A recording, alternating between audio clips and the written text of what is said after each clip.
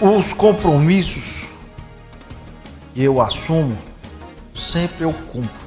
Pode e tem que esperar de mim é a seriedade e o trabalho. Galba Carneiro, vice-prefeito de Senador Pompeu, abre o jogo no Ceará em pauta desta quarta. O que vai consolidar o nosso grupo por mais tempo é o nosso trabalho e a nossa união. Oito da noite na Sertão TV.